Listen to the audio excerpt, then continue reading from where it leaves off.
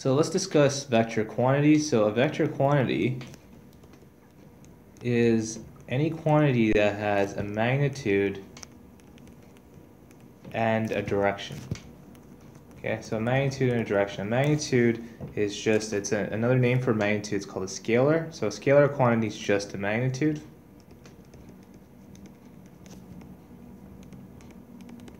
An example of a vector quantity can be if you are, let's say you are driving east 60 kilometers an hour, right?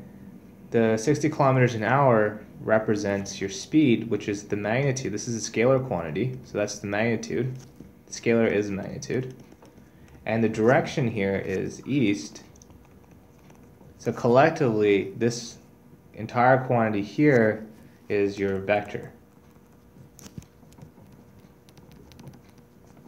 Okay, so you have to have a magnitude and uh, direction. Uh, this type of vector is called velocity. Okay, there's different types of vector quantities which we'll talk about. But This is called velocity because it contains a speed and a direction. The speed is the scalar, right? So this is the speed, that's the direction. Anyways, so to look at a vector quantity, uh, it's very important to indicate which direction we're headed. So in order to look at direction, we need to create some kind of system to look at direction. So there's two main systems that we're going to adopt. We're going to have something called the true bearing system.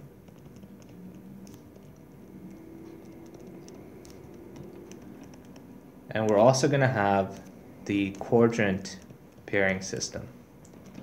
And both of these systems are basically used to indicate direction of vectors. Okay, so I'm going to start with the true bearing system. So the true bearing system uh, kind of looks like we're going to start with the Cartesian plane, which we'll call our navigation plane or navigation rose, whatever you want to call it.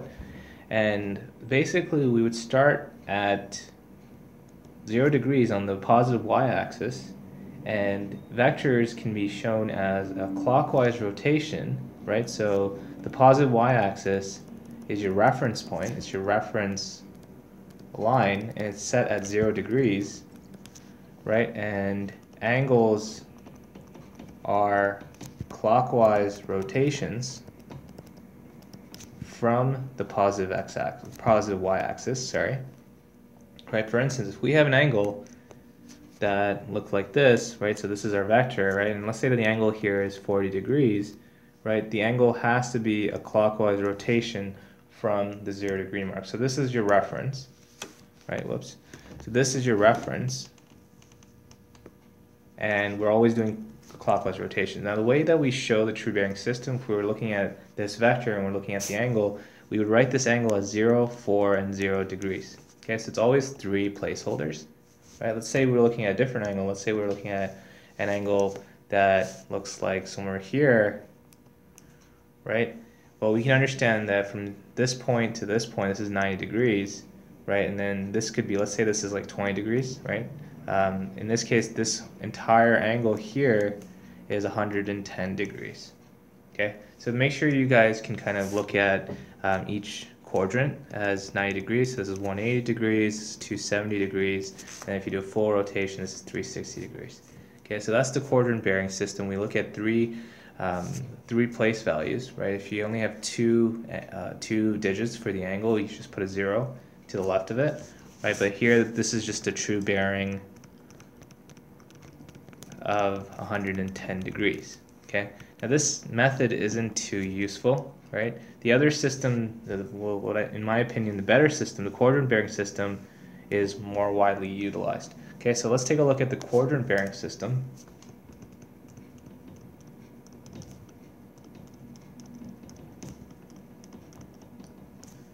So in the quadrant bearing system, uh, what's going to happen here is our navigation rose is going to have the directions north, south, east, west.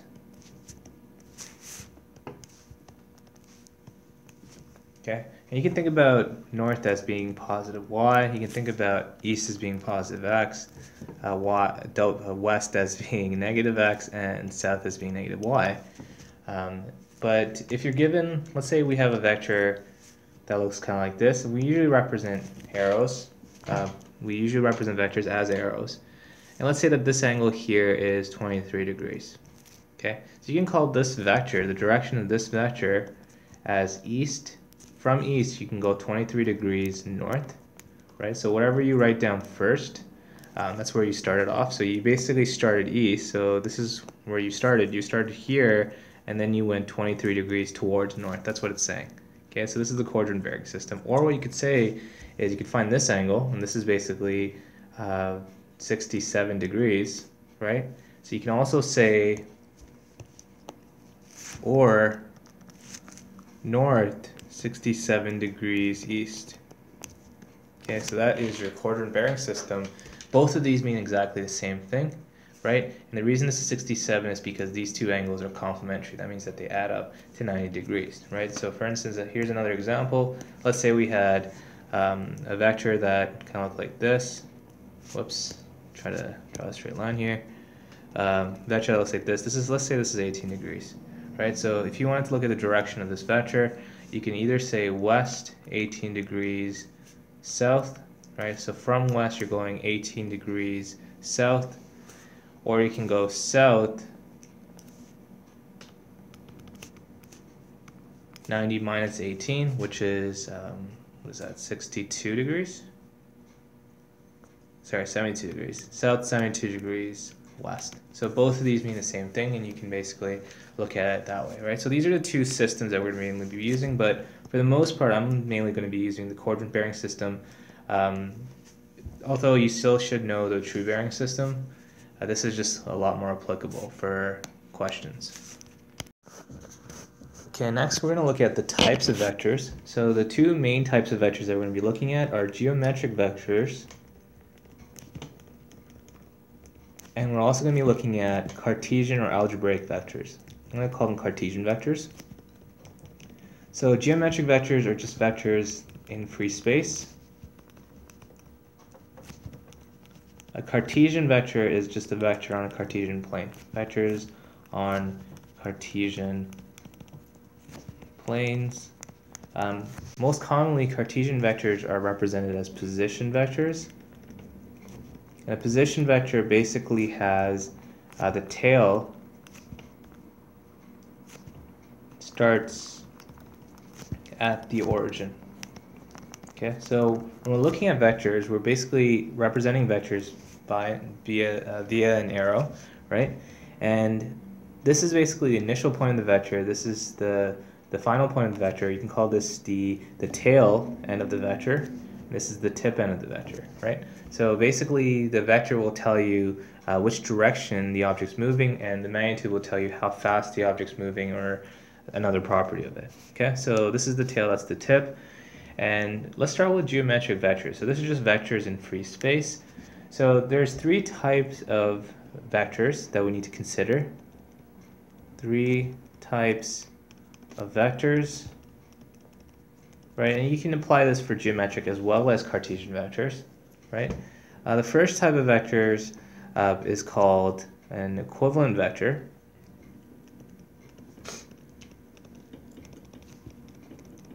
So equivalent vectors are basically vectors with the same direction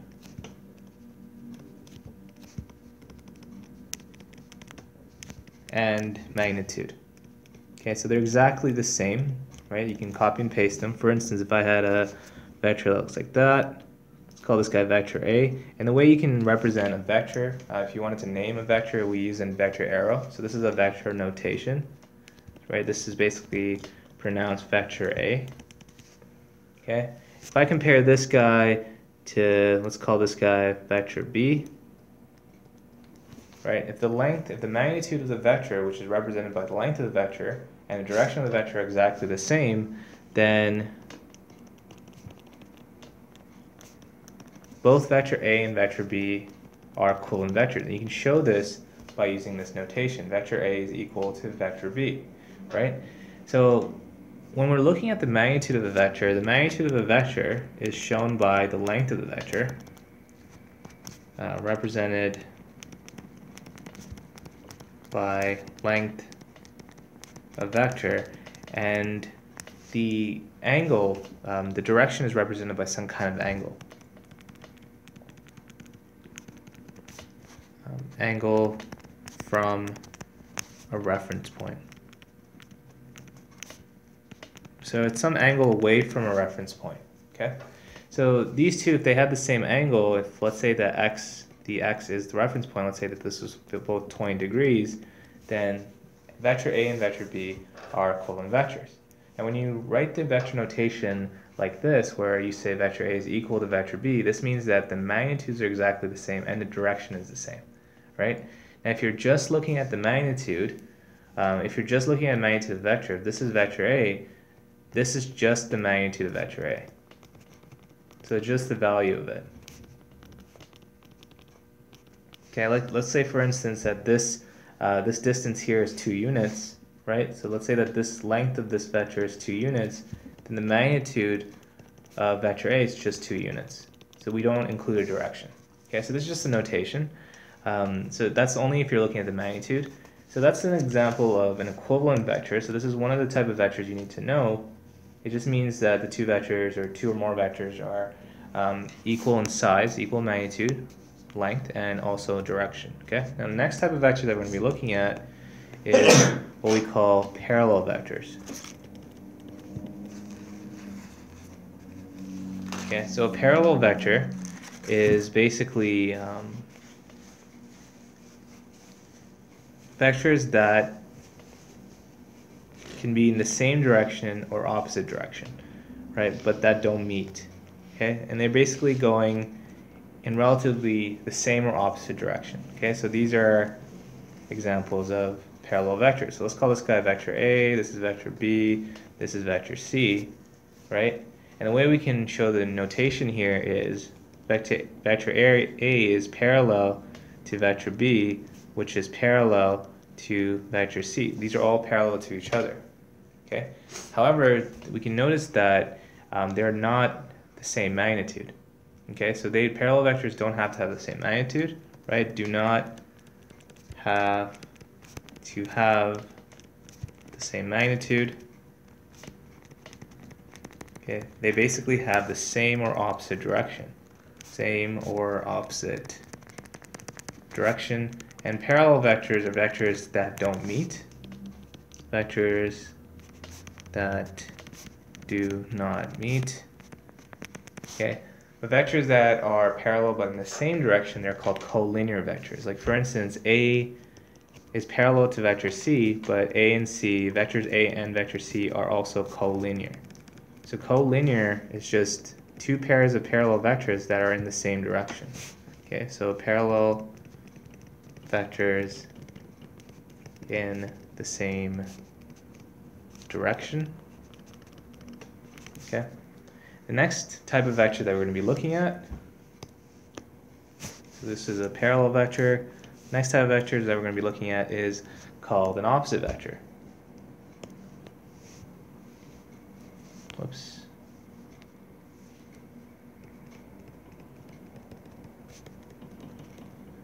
So opposite vectors are basically vectors that have the same magnitude but opposite direction. Okay, so if you have a vector, let's say that this is uh, this is vector A here. All right, let's call this vector B. This is vector B. Then if you apply a negative to vector B, what happens here, this is negative vector B. Okay, now if you looked at the magnitude of vector b, this is 2 units. If we use the Cartesian plane, let's say that this is 2 units, right? Negative vector b is going to have the same magnitude, still a length of 2 units, except this is going right and this is going left, okay? When you apply negative, it creates an opposite vector. It, it switches the direction. So in that sense, an opposite vector is basically uh, vectors with the same magnitude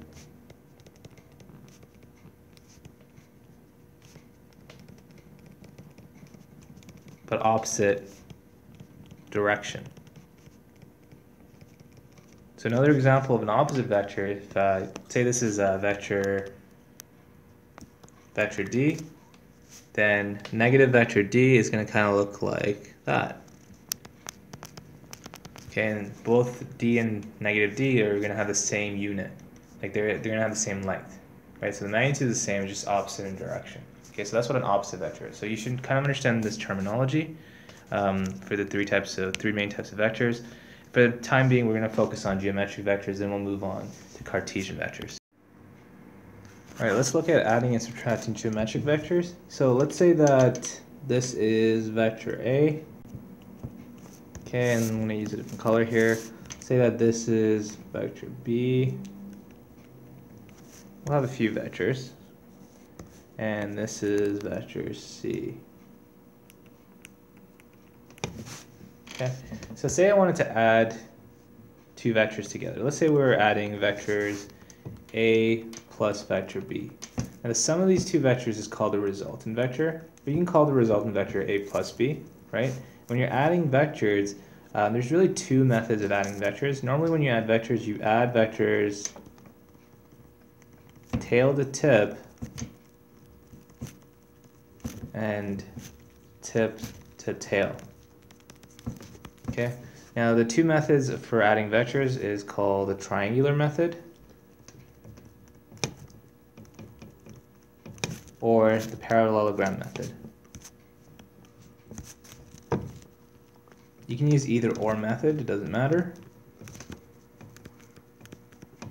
Okay, so I'm going to show you guys how to add vectors using the triangular method. So let's say we're doing vectors a plus b, right? So if we're doing vectors a plus b, um, you can notice that vector a, I'm going to say that the magnitude here is 2 units. So it's uh, 2 of these squares. Uh, the magnitude of vector b is also 2 units going downwards. And the magnitude of vector c, um, in this case I made a diagonal between the two squares. If you use Pythagorean theorem, this is 2 and 2. Uh, let's say that this is uh, square root, what is that, 8? Okay, so let's say it's square root 8 units. So the magnitude of vector c is 8 units. Okay, and there's a certain directionality with them. Anyways, if you're adding vector A plus vector B, if I'm using the triangular method, I'm going to first draw out vector A. You start with vector A, so this is the initial point, right? So the tail end of vector A is the initial point. Then I add vector B tail to the tip of vector A. So this is vector B, add it this way. And the resultant vector, this is where I ended up. This is my final spot. So I started here in the initial spot of the tail of vector A. This is my final spot. The resultant vector is um, a vector that goes from the initial directly to the final. So this is my resultant vector A plus B. Okay, so it's like the shortest distance from where you started to where you ended off. Okay, so that's that's the resultant vector A plus B. This is called the triangular method of vector addition, right? Um, you can also use the rectangular method depending on if you start with the same two vectors at the origin. Like for instance, if I had um, vector A positioned here. So this is vector A. If this is vector B, okay, and if I wanted to use a rectangular method, so this is vector B, this is vector A, you can note that I just pick one of um, one of the two vectors. I can, if I start at vector A, then I can project vector B onto vector A as such. Okay, so this would be vector B. So it's like me copying, pasting this vector here. It's like me moving this vector there. And then what you could do here is you can find the result, and you can notice that you get the same answer. You get the exact same answer, same direction, same magnitude, right? So this is like the triangular method.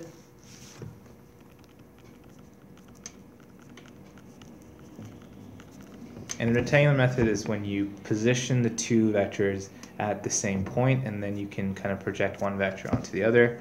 At the end of the day, you're still adding the vectors tail to tip, tip to tail. Okay, so you can use either or method, it doesn't matter.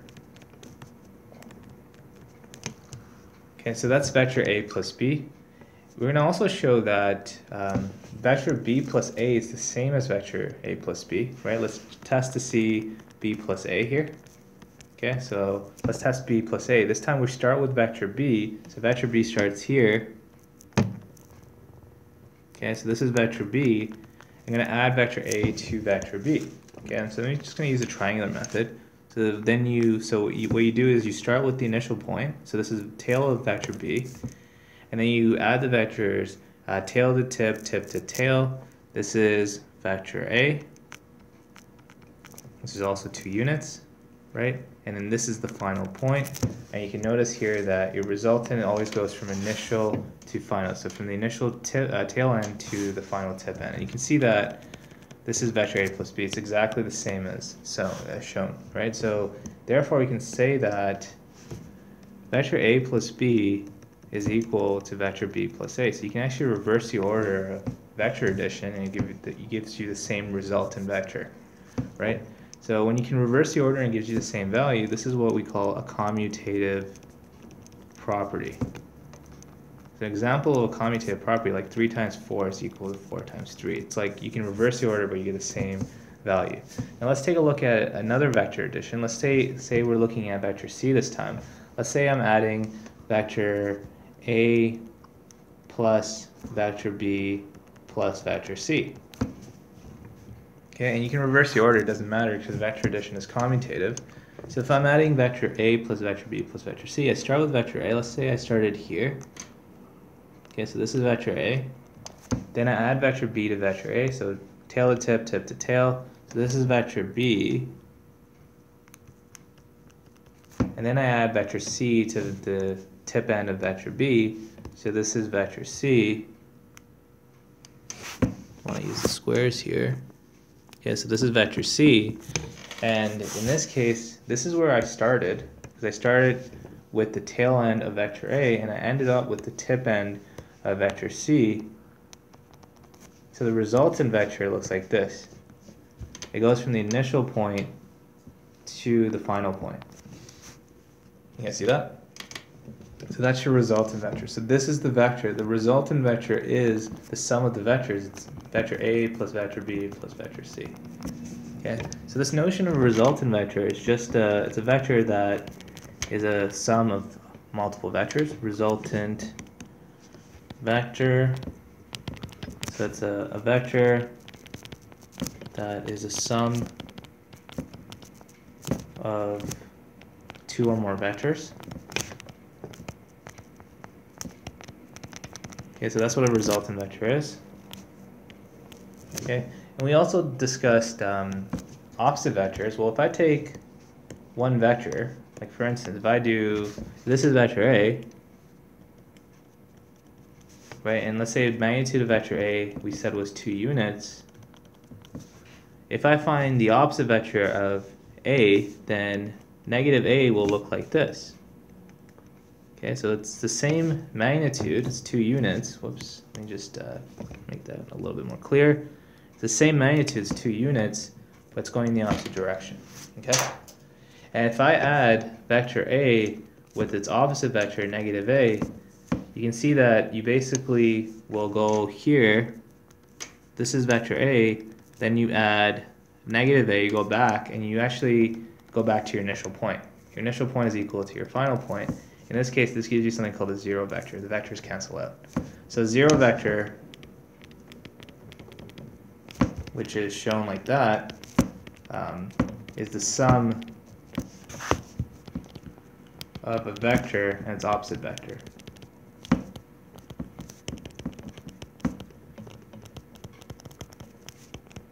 Okay, so that's an example of vector addition. Um, next what we're going to do is we're going to look at vector subtraction. Okay, so vector subtraction is pretty much the same thing except we're just adding the opposite vector. So let's just kind of draw some vectors out to demonstrate this. So this is vector A. Okay, I'm going to make a few different vectors here.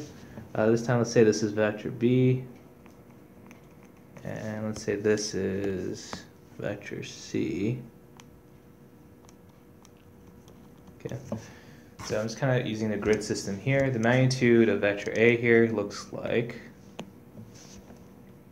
magnitude of vector A is 2 units. The magnitude of vector B here is also 2 units, but you can notice that the direction is different. That's why we have to indicate that we're looking just at the magnitude, right? Because we can't say vector A uh, is equal to vector B because they're in different directions. So if you do make this statement, that, that means that they have to have the same value and the same direction, right? And the magnitude of vector c here is, I'm going to say that this is 1 by 1, so it's square root 2 units. Okay, so it's like 1.4 approximately. Anyways, so you have these two vectors. Now I'm just going to go over vector addition one more time. So say I'm doing vector A plus vector B plus vector C. Okay, I want to find my resultant vector, right? So if I want to find my resultant vector, so what I do is I can start at vector A, and it doesn't matter which order you do it in. We showed that vector addition is commutative, right? So in this case, I'm going to start at vector A, so this is vector A here, right? Maybe make some space here. So I'll start vector A, so this is vector A. Then I'm going to add vector B to vector A. So if I add vector B to vector A, I'm going to, um, the tail, the tip end is here, and this is vector B. This is also two units. And then I'm going to add vector C to vector B. So you're adding vectors tail to tip, tip to tail, right, and so forth. Okay, so whoops. Let me just uh, move that. Should be here. Okay. So this is basically where you ended off. So I started here. This was my initial spot. I ended here, the tip end, my final spot. My resultant vector is my direct distance from my initial spot to my final spot. So this is my resultant, right? So you just go directly there. So this is the resultant vector A plus B plus C, or you can call it resultant vector R if you want. So that's the resultant vector. So that's what we showed with addition. Now let's take a look at vector subtraction. So let's say I have vector A minus vector B. Okay, so say I, I was looking at something like this, right? So if I wanted to find vector A minus vector B, one way you can look at this is you can write this as vector A plus negative vector B. And negative vector B is the opposite vector of vector B. Okay, so it's an opposite vector of vector B. So if B, vector B looks like that, uh, negative vector B will basically kind of look like this. This goes in the opposite direction. So this is negative vector B. So if you're doing vector A minus vector B, then in that case, you're basically doing vector A minus vector B, you're doing vector A plus negative vector B, which is, this is vector A, negative vector B, I'm just going to move down here a little bit, negative vector B is somewhere here, you're adding negative vector B, and now the resultant here is, this is where you started, this is where you ended, and your, this is your resultant. This is vector A minus vector B. Okay? So that's your resultant. Now we want to show, is this commutative? What that means is, does vector A minus vector B equal vector B minus vector A? So this is our question. Okay, is it commutative? Can I reverse the order and get the same value? Well, this is vector A minus vector B. Let's figure out what vector B minus vector A is. Right? Now this time, when you're doing vector B minus vector A, you're doing vector B plus negative vector A right? So negative vector A is going to look like this. It's going to be the opposite of vector A. So this is negative vector A, right? And if you're doing B plus negative vector A, um, this is vector B. Okay, so I'm going to add vector B to negative vector A. Let me just redo that here. So this is vector B, positive vector B. This is negative vector A,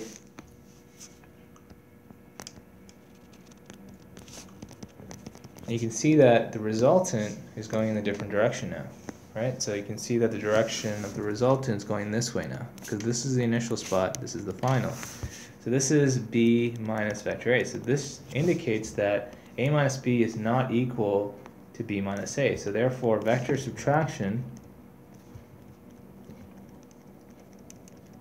is not commutative.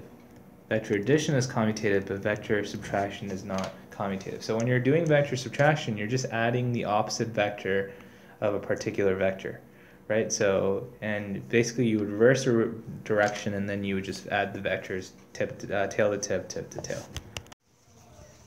Okay, so I'm just going to draw these vectors. Uh, displacement of 40 meters east. You want to draw this using a scale. Um, in this case, I don't really have enough room, so I'm just going to draw a sketch for each. So 40 meters each, I'm going to use a coordinate bearing system. This is north, east, south, west. So you're basically creating a vector that looks like that. Okay. Um, normally you would have to measure this out and create a scale, but I'm just gonna kind of go through this just by drawing sketches. Okay, velocity of 100 kilometers an hour at a bearing of 35 degrees. Because we're using the true bearing system, right, what we're gonna see here is we're gonna start at zero degrees up top at, at north, mm -hmm. and we're going to go 35 degrees on a clockwise fashion. So this is 35 degrees and then this vector's length should be at 10, 100 kilometers an hour. Okay. okay, so it always goes clockwise, right? Yeah, it's always going to be a clockwise rotation. Um, your voice is going to be in this, by the way. Mm-hmm. so uh, force of 5,000 newtons um, upward. So in that sense, if we're looking at upward, you can just assume that it's north. So we'll just say that it's here. Okay, so this is 5,000 newtons. Okay, D uh, acceleration of 10 meters per second squared downward. That's also known as acceleration due to gravity. Okay, so this is your graph.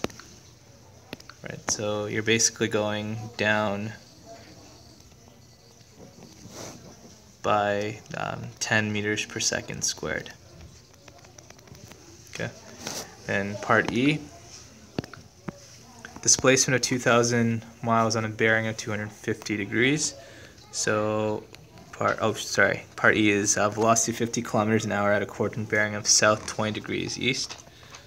So south 20 degrees east. So we start at south and we go 20 degrees east. So let's say this is 20 degrees. This is east. And the magnitude of this vector is going to be 2,000 miles did I look at the wrong question oh sorry it's 50 kilometers an hour sorry about that yep so it's 50 kilometers an hour. Okay, part F.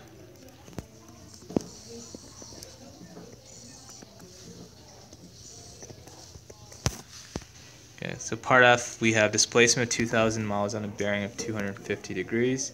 So bearing of 250, you start at north, 0 degrees. You go all the way clockwise to 250. Oh, no. That is so whack. I'm sorry, man. okay, this probably wasn't my best one, but um, so if you're going 2,000 miles on a bearing of 250, then basically what you're doing here is you're going clockwise. This is two. This is 180, and then 250 is going to be in between the 180 to 270 mark. So let's say it's here. So this is going to be 20 degrees because this whole thing is 270, right? And this portion here would be uh, 250. Okay, and then the magnitude of this vector here would be 2,000 miles. Okay, just gonna clear up some space.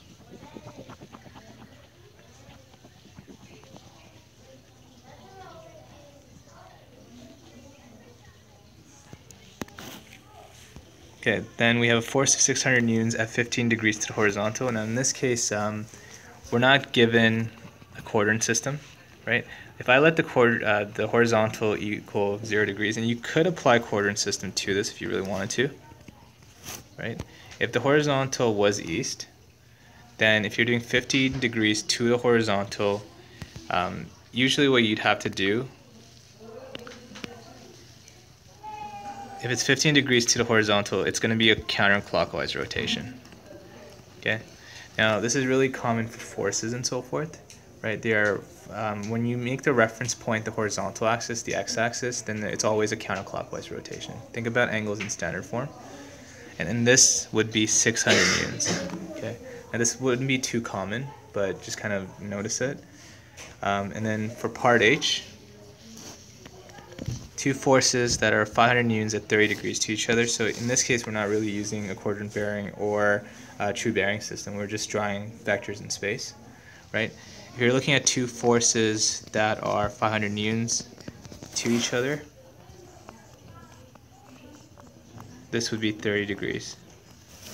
Okay, they're supposed to be 30 degrees to each other. Okay, so you would just draw it like that. An angle, right? Yeah. So, so in some cases you don't like. In some cases you wouldn't have to look at a coordinate bearing or true bearing system. Um, in the case where we're just looking at like tension forces and so forth, right? So that's also another thing that we'll kind of take a look at. But for the most part, the true bearing and coordinate bearing systems are going to be relevant. Okay, we want to express the shortest vector in each diagram as the sum or difference of other the two other vectors. So part A, we have the shortest vector here is vector w, and you want to write this as a sum or difference of the other two vectors, in this case u and v. So if vector w is starting here, ending here, right, uh, what we could do here is if we wanted to just do the vectors tail to tip, tip to tail, I'm just going to do negative u. So vector v minus vector u is equal to vector w, right? So you can write this as vector u plus negative vector u. Vector v plus negative vector u. Then you get an opposite vector of u. It's equal to w. Okay, so you would just kind of write it like that, because this will give you this. For part b, your shortest vector here is vector ab. So this is your vector. That's your shortest vector. You want to make vector AB is sum of vector AC and CB. So because AC is already going this way, uh, I'm just going to make, instead of BC, I'm going to make CB go this way. Right? So you can either write this as vector AB is equal to vector AC minus BC, or you can write this as vector AB is equal to vector AC plus CB. Okay. Part C, your smallest vector here is RQ, right? So we started here, we ended off here, right? So to do that, I'm just gonna make, I'm just gonna start here and then make this vector the opposite vector. So in this case, you have, um, this is RP, so you can write vector RQ as RP plus PQ or you can write this as vector RQ is equal to um, negative PR plus RQ, or you can write this as RQ minus PR, it's the same thing. Okay, so it's kind of good to understand all of the methods. And part D, um, for looking at the shortest vector, it looks like vector E. Okay, so there's multiple vectors here. Um, and we started here, so always start at the tail section, end up at the tip section of the resultant. And uh, if I wanted to go that way, I could basically just um, take vector g, we can make this vector h, right? So we can call this um, vector negative h, okay? And then this is vector f, so we can go this way, so this is negative f. And we don't have vector v here. So I don't know if they want you to, the sum or difference of two other vectors. Oh, just as two other vectors, so we don't have to use all the vectors. So we could do vector g minus vector h minus vector f is equal to vector e. Okay. Um, another way we can look at this, uh, if we were just looking at vector v and f, uh, we could look at this as vector v minus vector f is equal to vector e. Okay, so they just want you to look at it as two vectors. You don't have to use all the vectors. Okay, so for part A, um, if vector A is equal to vector B, this indicates that vector A and B are equivalent vectors. And in that sense, uh, if you have equivalent vectors, they have the same magnitude and same direction. So as a result, the magnitudes of the vectors would be exactly the same. Okay. Now in part B, if the magnitude of vector A is equal to vector B, then A is equal to B. Well, that's not true. If the magnitude of vector A is equal to vector B, this doesn't necessarily mean that these two are going to be equal in all scenarios. Okay. Um, even if you have the same magnitudes, you can have opposite directions. Like for instance, this is uh, vector A, this is vector b, and they can go in opposite directions, but they have the same magnitude. So in that sense, you could potentially have opposite vectors. So that statement wouldn't always be true. Um, or the exception. Okay, so that's more of a conceptual question.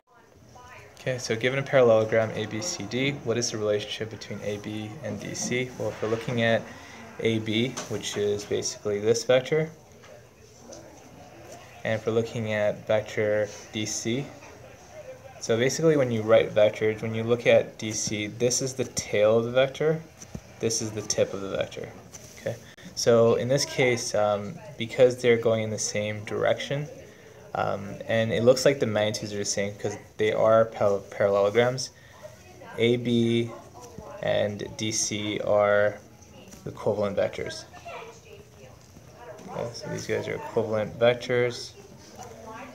If we're looking at vectors BC and DA, so BC, I'm going to use a different color.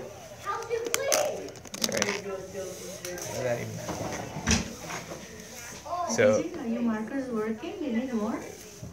Uh, it's a, so BC is from this end to that end. DA is going this way.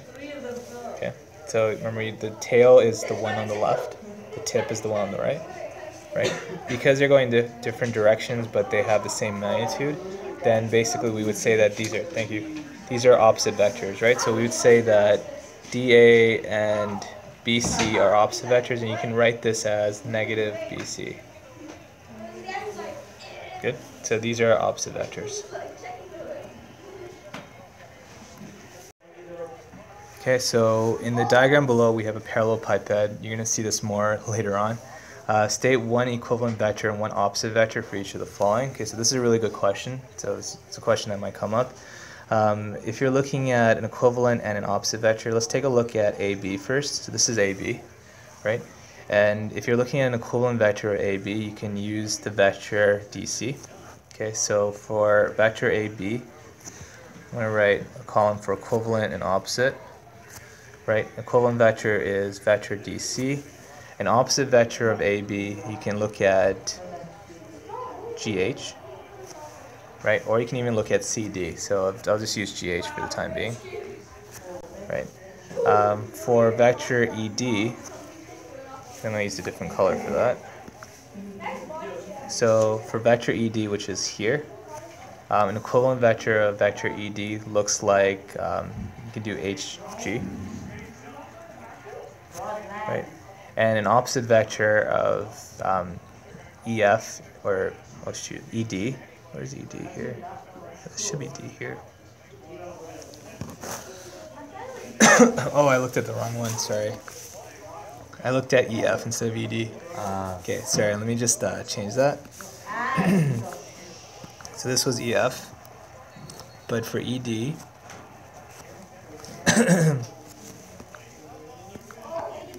it's basically from here to, I think it's here. That's ED. Right? Okay. Yeah, sorry about that. I looked at the wrong one. so that's ED, and another point that's similar to ED FC? You could do FC, yeah. FC. Wow, this makes everything so much more. Sorry. So ED is here. Yeah, you could say FC. Good. So FC would work, mm -hmm. right? So FC works. And an opposite vector, you can just change it up. You can write CF. Okay. Um, so if you're looking at BD, which is there, right? Um, an equivalent vector to BD could look like, could do AF. Mm, doesn't really look like it. I kind of covered it. Let's do that. No, we need to do FH. Yeah, FH works. That's good. FH works. Yeah. So between BD, you could do FH. And then if you want to look at an opposite vector, you could look at like HF. Okay. And then FB.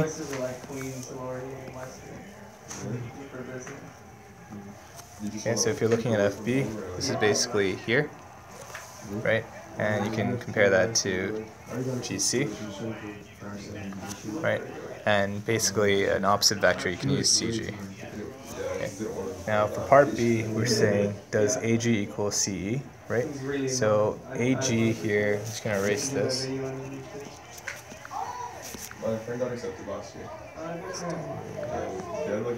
So AG is from this point to there. Right, does that equal CE? Well, CE is there it wouldn't be equal because they're going in two different directions. So just off, we don't know what the magnitude is. It doesn't even look like the magnitude is the same, but we can see that AG is not equal to CE. Okay, let's look at an application of that addition and subtraction. Um, so in this case, M, MNPQ is a parallelogram. R is an intersection of the diagonals, MP and NQ. Uh, if U is equal to MQ and V is equal to MN, determine the following vectors as combinations of U and V. Well, if we're looking at MP, for, for instance, MP is basically, you start at point M and you end at point P. So this is the direction of MP, right? NQ here is, you start at point N and you end at point Q. Okay, so whenever you have a vector that's, that's labeled for instance, MP, you have a vector arrow, P is the tip point, it's the point of the tip, and M is the point of the tail.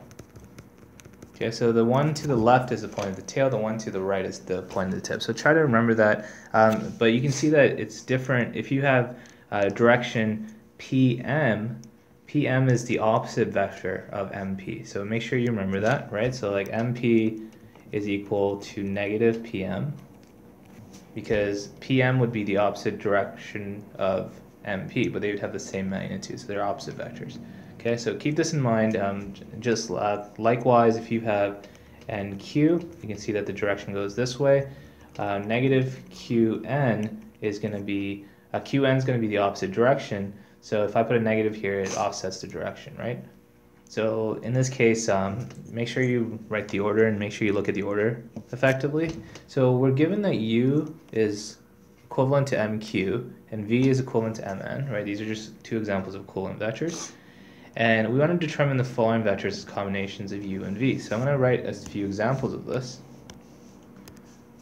Right. So let's express each of these resultant vectors as, as a combination of uh, vector u and v. So we know that vector u here, I'm just going to um, erase these lines here. Okay, redraw them. Now the thing about parallelograms, the diagonals, uh, where they intersect, this point, it creates a, a bisector, right? So this and this length is going to be the same, and this length and this length are going to be the same, right? So it basically creates a midpoint between the two. Um, now, if we're looking at M, uh, if we're looking at MQ, MQ is U, so I'm just going to draw that in red. So this is U. Okay, so this is vector U, and vector V is MN. So vector V, let's do it in blue. This is MN. Okay, and the first thing I want to look at here is MP. Okay, so if I want to look at vector MP, my resultant vector here is going to be all the way there. Okay, so that's MP. And you need to somehow add up to MP. Well, if you look at, if you start at vector um, U here, you can just add vector V to it and you get MP, right? Like for instance, if this is V, then this is also V because they're both parallel and they have the same magnitude right? This would be vector v, so you can just write vector u plus vector v is equal to mp. Okay, so you want to, your answer here is u plus v. You want to represent each resultant vector as a sum of u and v. Good. So that's the first case. Now let's look at um, part two. We have Pn plus Pq. Well, let's first figure out what Pn and Pq is. I'm just going to redraw this. Okay, so once again, this is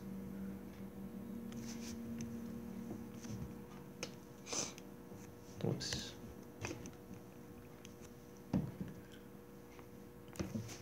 Okay, so this is vector u. And this is vector v.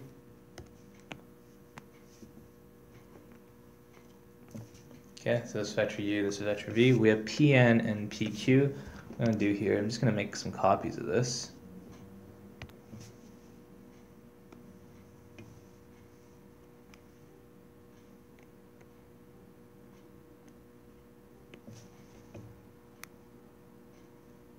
Copy this.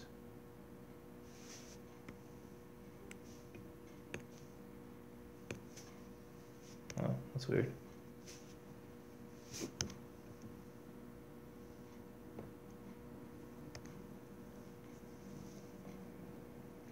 Okay, well, I guess that doesn't work. It doesn't matter. So let's say we're looking at Pn plus Pq. So Pn here is going to look like this. This is Pn. PQ is going to look like this. Right, the resultant of this, if you add the two together, this would be uh, PQ, Pn. The resultant would be that. Right? And you can see that Pn is the opposite vector of u, right? So this is basically negative u, right? And PQ is the opposite vector of Mn, which is negative v, right? So this should be negative v, right? So you can rewrite this as negative u minus negative v, right? Or you can say plus negative v. So it's the same thing, right? So this is your answer. And the last scenario here, we have MR plus RN plus QP, right? So I'm just gonna redraw this. Okay, so if we're looking at MR plus RN plus QP, so MR, MR is gonna be, MR, I think this was MN. Oh, no, we have MR. Oh, this is R, sorry guys.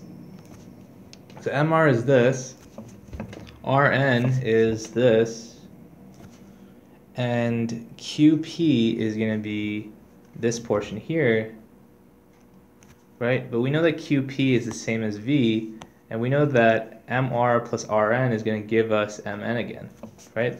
So Mr plus Rn is going to give us V, and Qp is also V, so we should get 2 vector V, okay? So that's the idea, right? So you're to have to just kind of draw this out and uh, basically do vector addition based on inspection. Remember to add vectors tail to tip, tip to tail. Alright, let's consider the forces F1 is equal to 200 newtons with a bearing of 220 degrees and F2 is equal to 100 newtons at a bearing of 310 degrees. Determine the resultant force. Now if we want to find the resultant force, we're going to do, um, I'm going to call the resultant force F net. And F net here is the vector sum of these two forces. Now there's two ways to do vector addition. You can either use geometric vector addition where you add vectors tail to tip, tip to tail, or you can use what I prefer, the algebraic method where you have to um, break a vector down into a series of its components. Now I would advise you guys to use the algebraic method. I'm not going to be drawing the geometric. I'm not going to be utilizing the geometric method, but it is good to kind of draw this out so you guys can see a clear picture. So we're going to um, employ the algebraic method of vector addition here, where we're going to look at components, right? The first thing I'm going to do here is I'm going to draw out my vectors. Okay, so let's draw like a plane here.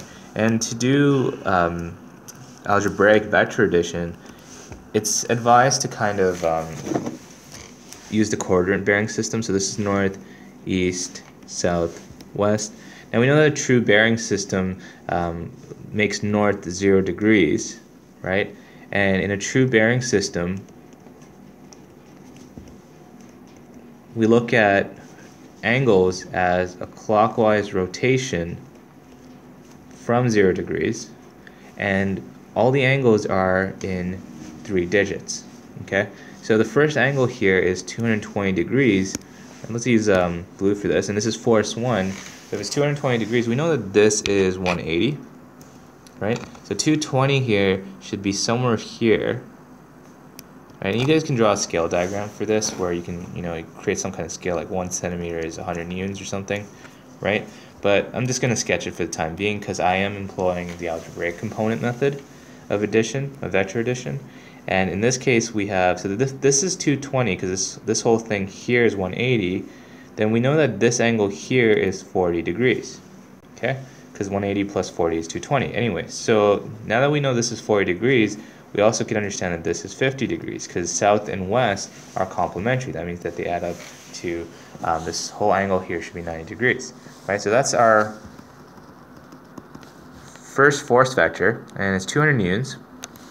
And a second force vector is basically going to be 310 degrees. So we're going to pass the 270 mark, which is here, right? So all of this all of this is 270, and then we're going to go 40 more and end up here. This should be half the size of F1, so this is F2. Okay, so this is 40 degrees. Okay, what we want to do here is we're going to break down a vector into some of its components. A force 1 vector, you can write this as f1x, f1y. Okay, not do two commas because it makes it confusing. Right, so the x and y components of force 1x, right? And, um, and of force 1, sorry. Right, so this is the x component, this is the y component. Now, if we want to look at, we're just looking at the magnitudes for the time being, if we wanted to look at um, each of these components individually, if we wanted to figure out their values, uh, f1x, if you look at this here, right, this portion here would be f1x. Okay, so this is f1x, right? We'll do that in red so you guys can clearly see it. Right, you have to create some kind of scale here. Okay, so this is f1x here. Um, you have to create some kind of um, arbitrary scale where left could be negative, right could be positive, or west could be negative, east could be positive, right? So in this case, um, if you wanted to find this value, we know the magnitude of the vector. Um, this is going to, we can use the cosine ratio, right? So as a result, we can understand that um, f1x here is negative cosine 50 degrees times 100, uh, 200 newtons right? Because you guys can understand that if you use a cosine ratio and this is 90 degrees, right? This is going to be adjacent over hypotenuse, right? So like cosine 50 degrees is going to give you f1x over f1, which is basically f1x over 200, and as a result, f1x is 200 times uh, cosine 50. And the reason I put a negative here is because of the fact that we're saying that left is um, the negative direction, or west is the negative direction, right? So you can employ the same thing here to find um, the y component, right? Because if we look at 50 degrees as a reference ratio, then this is the opposite side. So sine 50 degrees is equal to f1y over f1. So f1y is f1 times cos cosine 50, and f1 is 200 newtons, right? So f1y here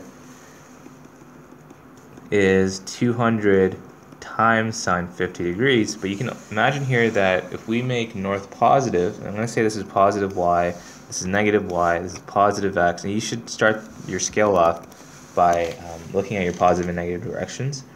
Right, and you just have to keep it consistent. So if I make north positive, then I'm going to make south negative, right? So in this case, I'm going to calculate this. Um, so f1x here is 200 times cosine 50. And you're going to put a negative there because it's a negative direction. So it's negative 128.557. Okay? So we'll keep it with three decimal places for our calculations. And 200 times sine 50 is 153.209. But we can understand that this is also negative because we're going the component vector is going downwards, right? So it's going down this way, right? I'm going to do the same thing for F2. So F2 is located here, and F2 has a value of 100 newtons. Okay, so if you want to find F2x, right, F2x here, you're going to use the cosine value, right? You can imagine here that it's also going left, but the, the y value here is going up. Okay, so this is f2y, and this is f2x, alright? So f2x here is basically negative cosine 40 degrees times f2, which is 100 newtons. And I'm going to figure out what that value is, right? So you're going to do 100 times cosine 40, right? And that's going to give us negative 76.604.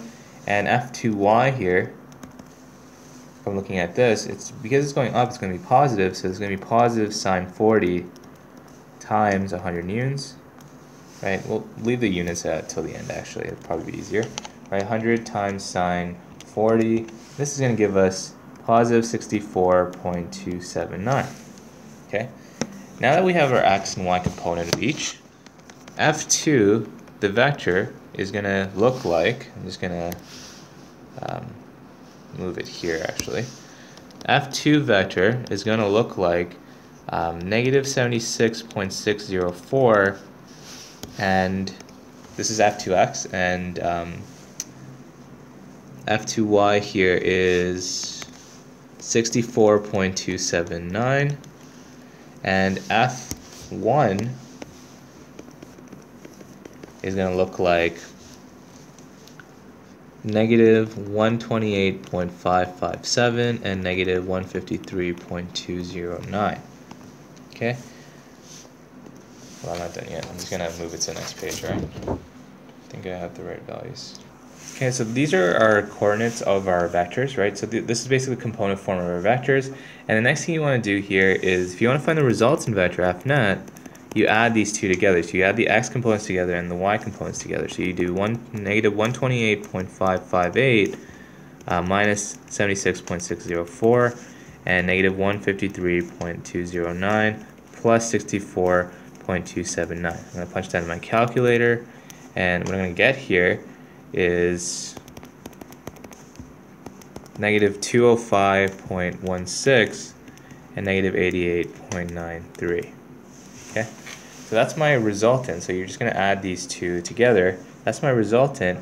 And this is really useful because it tells you exactly where your resultant vector is located. Like if you look at your Cartesian plane, again, this was north, this was east, this is south, this is west. Like I said, this is positive x, um, positive, sorry, positive y, positive x, negative y, negative x. Um, you can notice here that we have on the x coordinate we have basically negative 205.16 and we said that west is our negative direction. So it's going to end up somewhere here.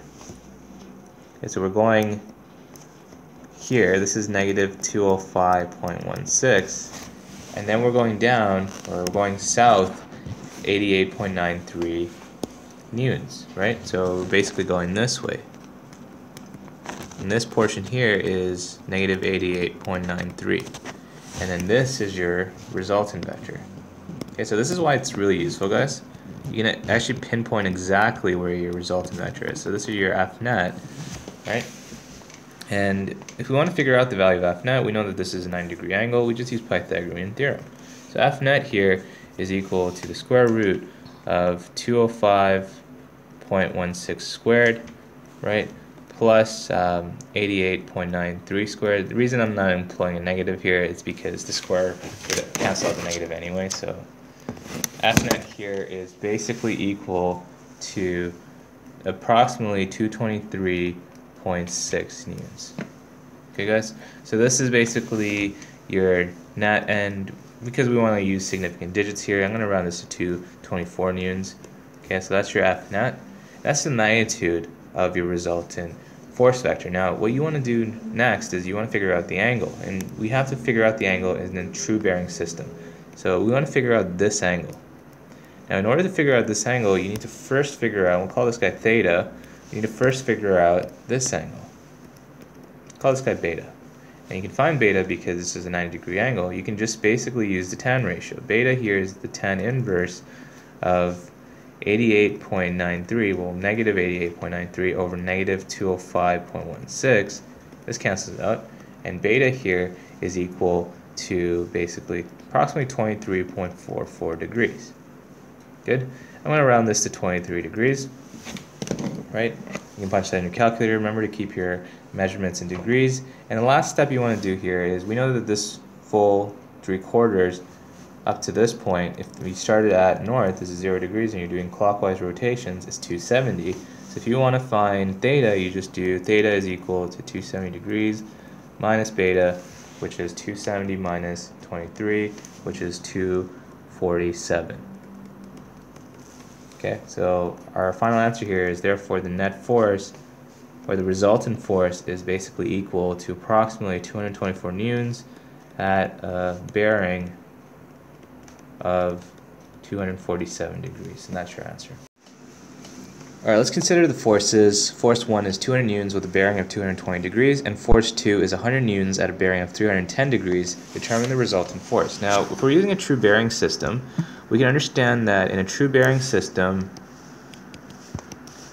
north, and I'm just going to write the Cartesian rose here that everybody's kind of familiar with, right? Northeast, southwest.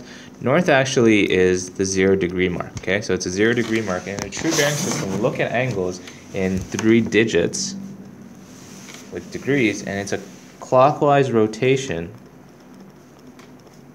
from zero degrees.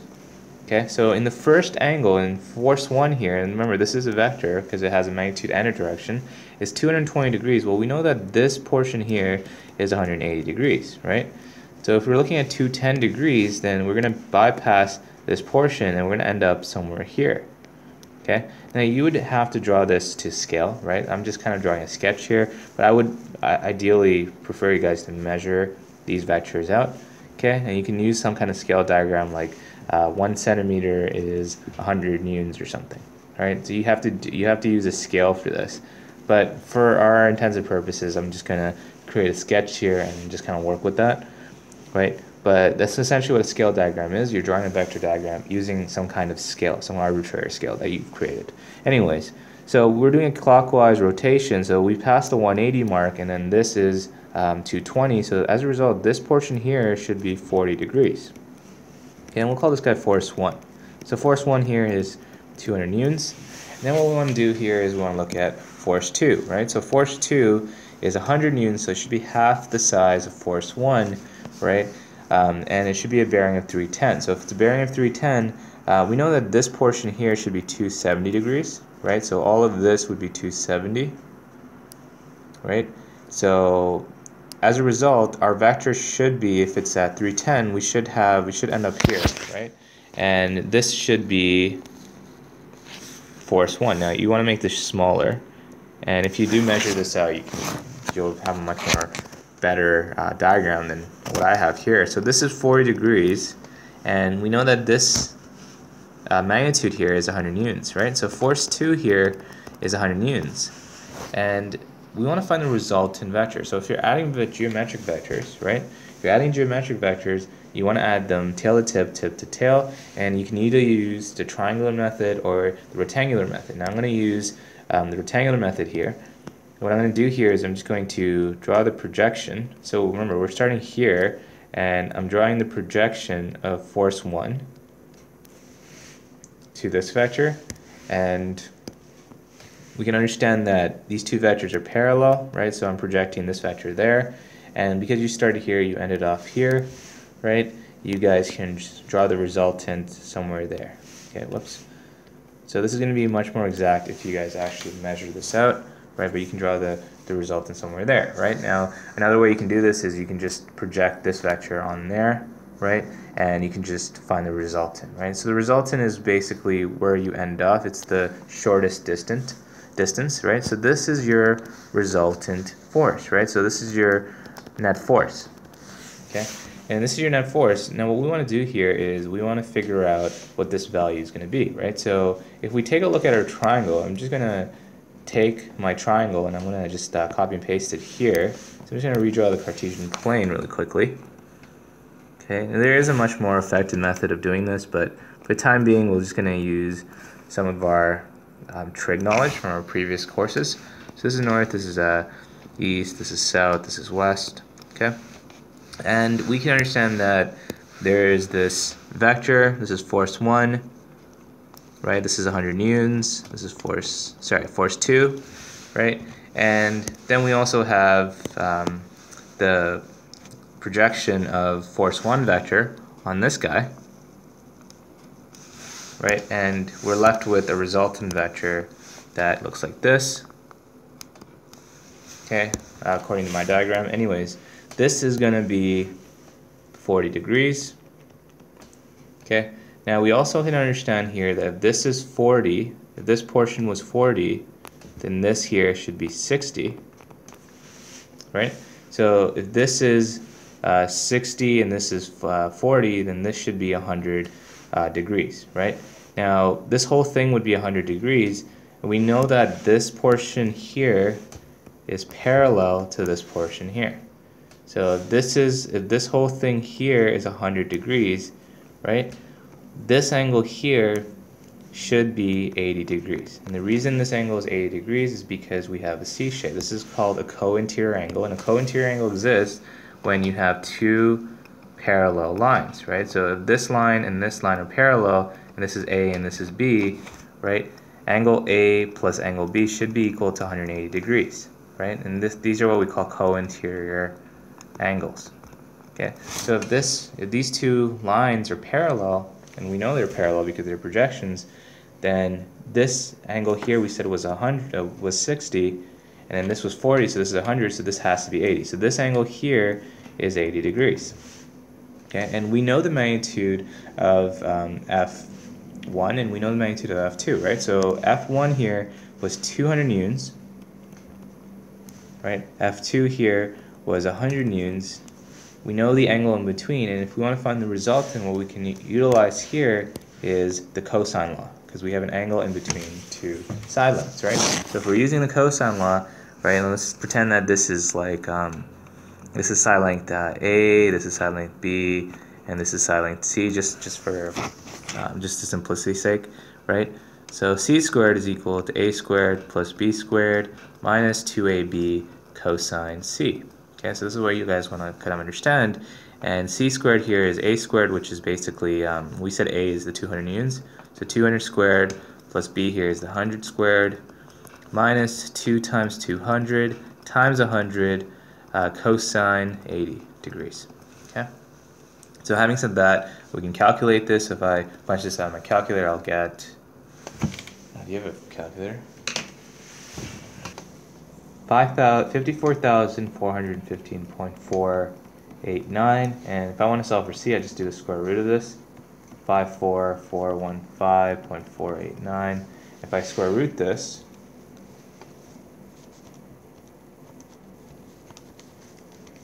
I get C here is 233.27. Okay, I'm just going to round to the nearest unit, so it's about 233 um, newtons. Okay, so that is your net force, your resulting force. Um, and we know that force is a vector, so we technically have to solve for its angle as well, right? So if we wanted to solve for its angle, um, we're going to understand that the angle associated with this, and you can actually find this a lot better if you guys um, you guys actually use your scale diagram to sketch it, but we're technically solving for this angle, okay? And um, in order to, if we find this angle, then we can figure out what this angle here is, because we're using a true bearing system, and we just have to subtract by 270, because at this point this is 270, right? Um, so what we're going to do for that is we know we know this angle, we know this side, and in this case, what you could do is you could do um, a sine ratio, right? Um, specifically, you can utilize sine law, right? So if you're using sine law here, so we know this side, we know this angle, and we can use this angle here and compare it to that side. So what I'm trying to say here is that we want to figure out this angle. We know this is 40, right? Right, I'm going to use sine law to figure that out because now I know what this side is. So as a result, we know that C, whoops, we know that C over sine 80 degrees, right? Actually, you know what? Let's find the angle. So let's, let's flip this around. So sine 80 degrees over c, which is basically what we just calculated, is 233, is equal to this angle that we're trying to find. Let's call this guy theta. Okay, so let's call this angle, this full angle theta. Okay, so this is theta, is equal to sine theta over 200 right? So sine theta is equal to 200 times sine 80 over 233. Okay, this is somewhat tedious, and there is an easier way to do this, but we'll just kind of look at this using trig for the time being. Times sine 80 um, should change my calculator. Make sure you change your calculators to degrees if it's in radians, guys. Um, you have sine 80 divide this by 233 and you basically get 0.845 okay and then theta here is the sine inverse of 0.845 which is going to be about 57.67 degrees okay so theta is equal to 57.67 degrees about 58 degrees so let's say that this is about 58 degrees okay so this is 58 degrees and we know that the initial angle here was 40, right? We know that this angle initially was 40. Okay, so this was 40 degrees. Then we want to figure out this portion here, the red portion. right? We want to figure out this red portion, right, to basically figure out what this angle is here. Because if we subtract by 270, we can actually figure out our total angle. So we know this is 58, so therefore this red portion here is 18 degrees because we subtracted from 40. And if we know this red portion is 18 degrees, then if you want to find the net angle, if you want to figure out this angle here, I'm just going to subtract it by 270, right? So we want to use the true bearing system. So 270 minus 18 is 252, right? So 270 degrees minus 18 degrees is 252.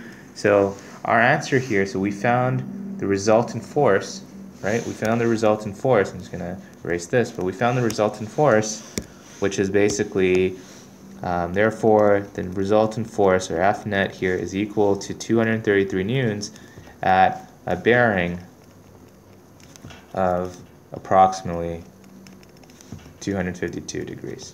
Okay, and that's your answer.